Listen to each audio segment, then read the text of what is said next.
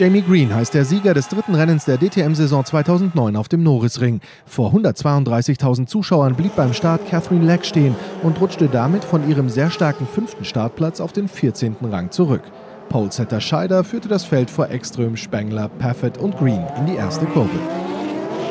Gleich zu Beginn gerieten Thomas Koschka und Oliver Jarvis aneinander und fielen aus. Markus Winkelhock, dessen Fahrzeug nach seinem Trainingsunfall rechtzeitig zum Rennen wieder fertig geworden war, konnte sich gerade noch vorbeischieben. Es folgte eine Safety-Car-Phase. Beim Restart Scheider vor Ekström, Spengler, Paffett und Green. Die erste Veränderung gab es nach dem ersten Boxenstopp von Matthias Ekström, der sich hinter Gary Paffett einreihen musste. Doch beim nächsten Stopp konnte sich der Schwede wieder vor den Sieger von Eurospeedway Lausitz schieben. Dahinter kämpfte Ralf Schumacher mit die Resta und Christensen und beendete das Rennen mit einem starken sechsten Platz, der besten Platzierung seiner DTM-Karriere. Das Wochenende war etwas turbulent. War schade, dass wir nicht weiter hätten vorne starten oder haben starten können, weil das Potenzial wäre heute da gewesen. Aber ich glaube, wir haben das Beste daraus gemacht. An der Spitze versuchte sich Jamie Green mit nur einem Boxenstopp abzusetzen. Als er dann in Runde 56 das zweite Mal aus der Box kam, konnte er sich auf Platz 3 wieder einreihen.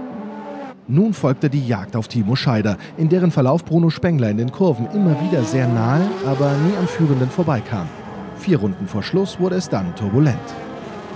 Ja, wirklich über viele, viele Runden einen sehr engen Kampf an der Spitze gegeben. Timo hat seine Position eigentlich immer verteidigen können. Er hat eine ganz besondere Linie im Turn 1 gefahren, der ihm aber immer wieder geholfen hat, aus der Kurve sehr gut herausbeschleunigen zu können. Endlich wurde Spenglers Drängen belohnt und er konnte sich an die Spitze setzen. Doch nur eine Runde später war Scheider wieder vorne und Green konnte ebenfalls überholen.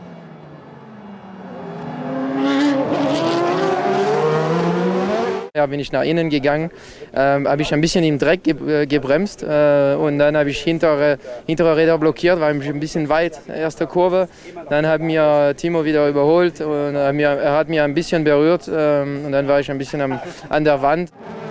Zwei Runden vor Schluss dann die Attacke von Green in der Schikane und Scheider konnte nicht mehr kontern. Auch Spengler und Ekström kamen an ihm vorbei. Ich hatte schon äh, versucht, äh, Vollattacke zu machen, äh, näher dran zu kommen. Problem war, dass äh, wenn man zu viert äh, kämpft, muss man immer ein bisschen aufpassen, weil wenn der Bremsen heiß ist und äh, Reifen auch, dann ist, äh, geht alles ein bisschen eh in Slow Motion. Trotzdem habe ich schon gewusst, dass was passieren würde, weil die zwei Mercedes-Fahrer wird nicht zufrieden sein. Denn Green ließ sich die Führung nicht mehr nehmen und holte den siebten Mercedes-Sieg in Folge auf dem Norrisring. Ich konnte auf Timo und Bruno aufschließen. Dann war ich mittendrin und wartete auf meine Chance. Ich habe meine Möglichkeiten genutzt und deshalb habe ich gewonnen.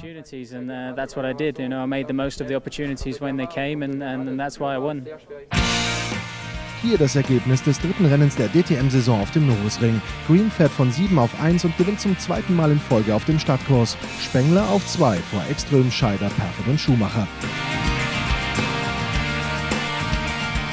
Tomczyk auf 11 vor Catherine Leck und Markus Winkelhock. Champagnerdusche für den Sieger. Der Blick auf die Gesamtwertung. Es bleibt spannend in der DTM. Timo Scheider behält die Führung vor Spengler. Gary Paffett, Jamie Green und Matthias Ekström liegen punktgleich dahinter.